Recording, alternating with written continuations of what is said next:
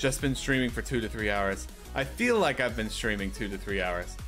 Like I'm tired and I'm not, I'm untired enough that I could believe myself that two to three hours streaming. Forget that sentence. Forget that sentence. I'll make a better sentence.